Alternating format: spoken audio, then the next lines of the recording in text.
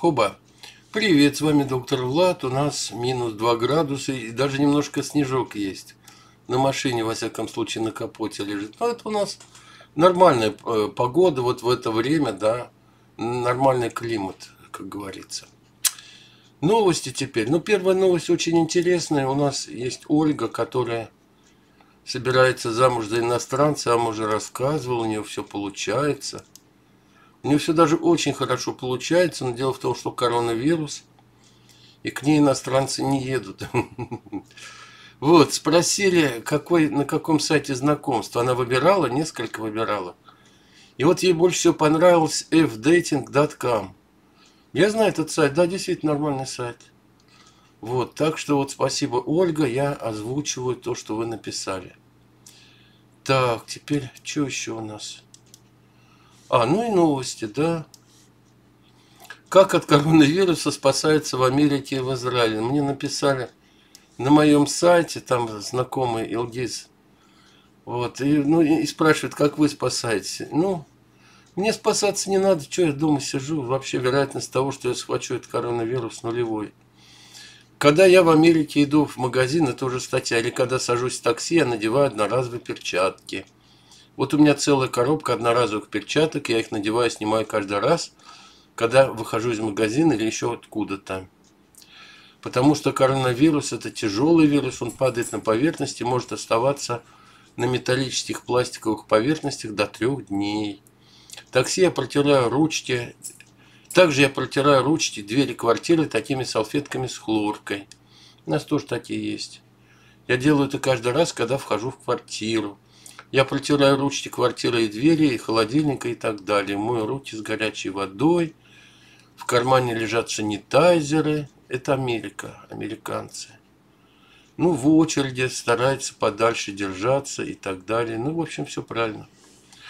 Так, в Израиле. Поучитесь в Израиле. Там каждому заболевшему присваивается номер, не раскрывая личных данных, но на всю страну оповещают, откуда эти люди, когда заразились, и самое главное, как они передвигались по стране. Буквально по часам в какие заведения заходили, каким общественным транспортом пользовались, ходили на учебу, на работу и т.д. Все, кто был в то же время, в том же месте, могут сразу сообразить, что надо уйти на карантин, особенно если есть симптомы вируса. Ну, тут пишет э, Раштин, это Раштин пишет, между прочим, почему-то. Валерий Раштин, депутат Госдумы. Я еще за него голосовал в Саратове в свое время. Меня отец такой коммунист заядлый. Я решил сделать для него хороший, вот проголосовал. Эта практика должна быть срочно введена в России. Ну, я представляю, в сибирском селе мужик отслеживается, как он идет в туалет с дырками. Ладно, это Израиль, это Америка, это нормальные страны. В Италии число умерших от коронавируса побило суточный рекорд. Я тут недавно немножко прошелся, не очень хорошо насчет итальянцев, что они все какие-то чумазые, наверное, у них от этого коронавируса много. А вот тут вот бах. Ну, в Италии много, да. Ну, а в Индии-то нет ничего, не слыхать. А уж что там творится? Ой, что там творится? Кучу нужно делать прививок, если вы едете, в, ну, вообще обычно, да, в Индию туристам. А там ничего, что-то нету. У нас там Бронин живет, кстати, в Индии. Наш очень славный комментатор, который все время первый приходит, и у него столько золотых медалей на моих роликах. И, ну вот он ничего, он вроде все хорошо, у них там плюс 30. А, ну может быть поэтому, что плюс 30. Италия вот даже обошла Китай по числу жертв коронавируса. Ой, ну ладно. Нет, нехорошо. Власти, власти Швейцарии запретили собрание более пяти человек и призвали сидеть дома. Министр здравоохранения объявил такой суровый вид у него. Швейцарский нож. Так, YouTube ухудшил э, качество роликов в странах ЕС из-за коронавируса. Ребята, качество, то есть разрешение. Слишком много людей дома сидит. Слишком многие смотрят YouTube. Вот, и вот для того, чтобы трафик был поменьше, разрешение по умолчанию будет 720 на 576. Вот так вот. Ну, то есть, похуже будет качество. Ну, мне-то наплевать на меня, что смотреть, вы так меня знаете сто раз. Оружие массового заражения. Правда об эпидемии коронавируса. Кто заказчик глобального финансового передела. Ну, мы тут, да, вот со многими говорили, что ну, вдруг это действительно вот кто-то придумал, да, но опять же, ищите, кому выгодно. И Юсиф, кстати, в ролике тоже говорил, ищите, кому выгодно. Ну вот статья, ну, ребят, я как-то не очень верю во все вот эти статьи. Вот, просто я не буду ее читать, чтобы вам голову не морочить, да. Единственное, что вот именно здесь написано. Почему в Таиланде, Алжире, Омане, Иране, Макао такой высокий процент выздоровевших, а Индия с ее огромным населением и низким санитарным уровнем почти не затронута эпидемией. Неужели медицина и система профилактики в этих странах на порядок качественнее европейских или американских? Конечно, нет. Зато у этих стран есть одна общая черта. Здесь нет финансовых рынков. Вот с точки зрения финансов чел подошел, пытается объяснить, ну, может быть и так, не знаю. Я не буду углубляться. Так, Путин подписал указ о выплатах на детей от 3 до 7 лет. Ну, правильно, конечно, если до трех ты дожил, не помер, значит, ты будешь хорошим воином. Вот, а после семи вообще наплевать, там школа будет уже тобою заниматься, будешь маршировать и так далее. Я вот так это рассуждаю, ребят, как хотите. Так, трейдеры готовятся к худшему после быстрого роста цены нефти. Да, цена на нефть вроде подросла, а сейчас опять падает и падает и падает. Настоящий обвал начнется с апреля, когда обещанные дополнительные объемы нефти из Саудовской Аравии наводнят рынки. Вот тогда они обещали, но им долго это нужно закачать в контейнеровозы вот эти вот. И, значит, чтобы доставить до потребителя. Газ, сжиженный газ, конечно. Труп у них нету. Так, продажи жилья на вторичном рынке США выросли на 6,5%. Не, не знаю, с чем это связано, увеличилось, да. Такого, такого роста не, ожи, не ожидали, в общем. Ладно.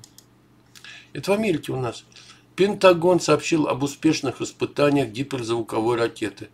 Вот без мультиков. Вообще Пентагону надо на Путина молиться. Он так, значит, в России там все время шумит, туда-сюда, у нас новое оружие. Вот, и Пентагон потихонечку требует денег с Конгресса, там откуда они требуют, с Трампа.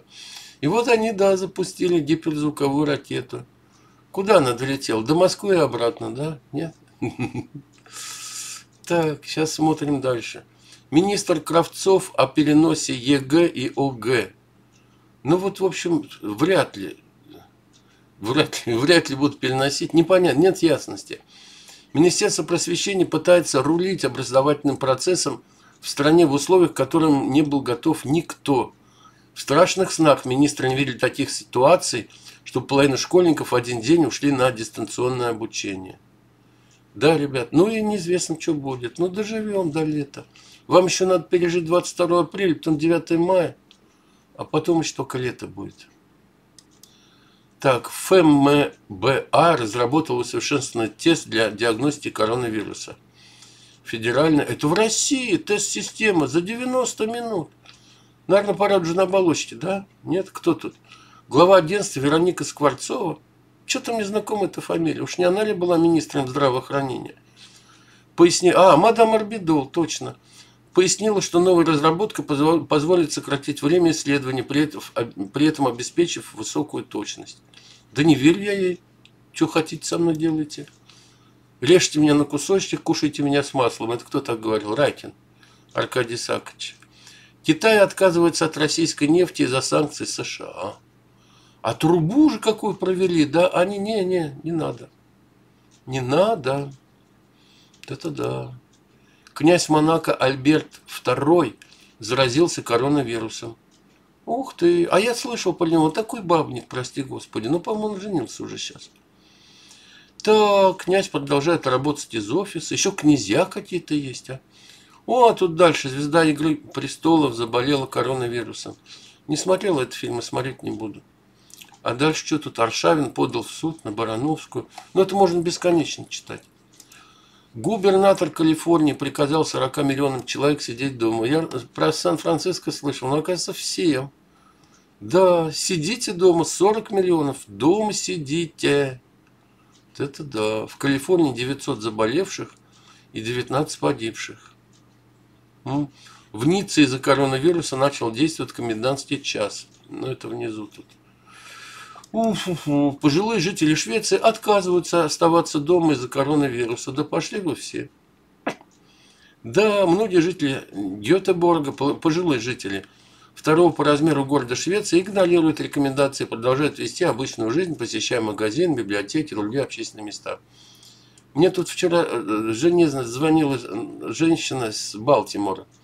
И тоже говорит, да пошли они все. Скучно дом сидеть, скучно. Так, троллейбусы и трамваи в Красноярске оснастили дезинфекторами для рук. Боюсь открывать следующую статью. Скорее всего, их уже сперли. Ну, не знаю, ну вот, да, оснастили. Так. Российские ученые расшифровали геном коронавируса. Я тащусь. Это как в старом анекдоте. Нашли мумию старинную. Вот, и решили выяснить. Американцы, немцы и русские. Значит, сколько лет этой мумии? Вот, американцы бились, бились ничего, немцы бились, бились ничего. Русские пригласили КГБ, там, значит, в комнате какие-то крики. Он выходит и говорит, 500 тысяч лет. А откуда вы знаете? Он нам сам сказал. Вот, наверное, так же расшифровывали геном коронавируса, что-то в этом роде. Так, Помпео обвинил Россию, Китай и Иран в дезинформации о коронавирусе. Ну, где Россия, там дезинформация, тут даже нечего обвинять, это нужно просто записать в Конституцию США. Майк Помпео, госсекретарь, министр иностранных дел. Кстати, Лаврову 70 лет исполнилось, если кто хочет выпить, вот хороший повод есть. Так, Лавров, знаете, человек-лошадь. В ГП заявляют, что ПП не ПП. Ну что это вот это вот, а? ГП, кто такой ГП? Генпрокуратура. Ну так бы написали. Это да, у нас женщина одна писала, на скорой я работал, ЖП не ПП. Я спрашиваю, что такое? Желчный пузырь не пальпируется. Вот в ГП заявляют, что Валерию Соловью грозит административная ответственность за ложную информацию о коронавирусе. А, помните Соловей там? Соловей, Соловей, пташечка. Он сказал, что там 180 тысяч инфицированных. Это все неправда. Вот, и ему грозит административная ответственность. Супруги Скобеева и Попов отказались видеться из-за коронавируса. Вот у меня раньше был точка отчета, это мой третий брак, да? Вот, а оказывается, жены еще хуже бывает. Я посмотрел, Скобеев ведь тоже чья-то жена. ой да, я сочувствую товарищ Попов. Да, они отказались видеться из-за коронавируса, и теперь программа, на нее посмотреть я сразу откажусь видеться. Да ну их вообще. Черт с ней с этой новостью. Владимир Путин оставит э, Россию без зарплаты пенсии. Интересно рассуждает Иван Чумаков. Он говорит, что Путин собирается выполнять все свои социально-экономические обязательства. Ну, ништяк, да. Даже если он это все сделает, а может сделать так. А рубли-то сейчас уже гораздо меньше. А рубль-то сейчас стоит меньше, и поэтому, да, он выполнит. А на самом деле, фактически, это это ни, никакой честности здесь нету. Потому что деньги-то упали, упали. Да, интересно. Я не сомневаюсь, Владимир Путин это в конце выполнит формальную часть обязательств, выплатив пенсии и зарплаты. Вот только высока вероятность на них купить ничего не получится. Матвей Гонопольский прошелся насчет Памфиловой. Какая-то личность интересная, Гонопольский. Панфилова себя уже не контролирует. Знаете, воистину абсолютная власть возвращает абсолютно. Они сидят там наверху и прям сочатся всевластием. Но если раньше были хоть какие-то рамки приличия, то у них вообще съехала крыша. И они, уверовав, что россияне холопы, учат их смирению. Давайте разберем цитату Памфиловой. Так, с моими вопросами, ну с ее вопросами. Мы все и так понимаем, кто понимает, почему и так, что та процедура, которая проходила, легитимизирует те поправки, которые приняты. В скобках, если все легитимно, зачем всенародное голосование? Оно легитимно, потому что легитимно избрано Госдумой, Совет Федерации. Еще раз, если все легитимны послушно проголосовали, что вы там рыпаетесь в Кремле? Дальше. Принят этот закон, приняты поправки, уже сам по себе этот процесс легитимен. Снова Панфилов толдычит слово легитимно, но если все легитимно, принято, подписано, какого черта вы гоните волну? Секрет волны раскрывает следующей цитате. И только можно отнестись с большим уважением к тому, что наш президент на этом не остановился, и его желание услышать в данном случае не предусмотренное ныне действующей Конституцией мнение народа. Обычно после такой фразы чиновник должен застрелиться, либо должен застрелиться народ. Потому что эта дама заявляет следующее. Все и так легитимно. Раз.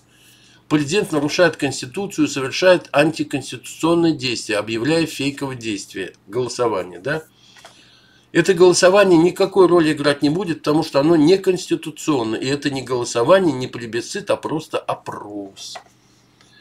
То есть, как бы люди не проголосовали, это не имеет значения, потому что Путина просто интересует мнение. Ой-ой, дорогая Александровна, вы просто сошли с ума вы себя не контролируете. Глава ЦИК просто не может так лизать ни лично, ни по должности. Я знаю, вы были женщиной с достоинством. Если вы от статки окончательно не растворились в путинской кислоте, вы не можете так унижать граждан. Да, она сказала, что уже все сделано. Ну, сходите. Путин послушает, как вы к этому отнеслись. Да, ребята. Таска. Так, и что у нас тут? А, Твиттер, Твиттер. С чем связана спешка по обнулению сроков?